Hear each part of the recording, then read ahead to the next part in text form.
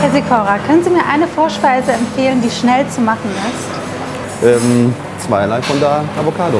In erster Linie eine wunderschöne Avocado, die dann noch reif ist, auf dem Punkt reif.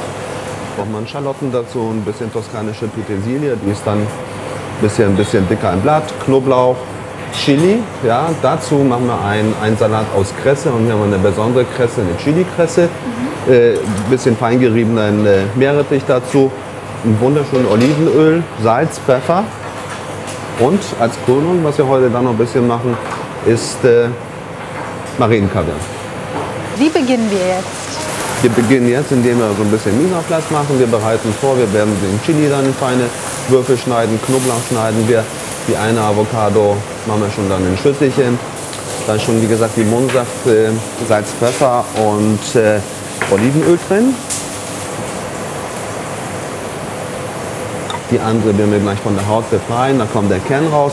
Dann wird sie fein gewürfelt. Mit den Zwiebeln, mit dem Chili, mit dem Limonensaft, ein Hauch von Knoblauch. Dann wird das Ganze vermengt, abgeschmeckt. Und ähm, ja, und dann sind wir im Prinzip schon wieder fertig, weil dann ist ja die eine Avocado hat schon ein bisschen durchgezogen. Wir machen den Kresse-Salat mit dem Meerrettich und äh, ja, und dann brauchen wir nur noch Messer und eine Gabel und einen guten Appetit. Wie lange braucht man für so eine Vorspeise? Also wenn man alles sich dann in der Küche bereitgestellt hat, nicht länger als 10 Minuten. Zu welchem Hauptgang empfiehlt sich äh, diese Vorspeise? Ein Gänsebraten zum Beispiel. Die Avocado als Vorspeise vor einem Gänsebraten, mhm. sehr lecker. Herr Sikora, ich glaube, das ist wirklich die perfekte Vorspeise, oder? Ja, perfekt schon. Aber warum ist sie perfekt? Die ist äh, wunderschön frisch, leicht, bekömmlich und äh, super lecker abgeschmeckt. Und ich freue mich schon auf das nächste Mal. Was erwartet uns?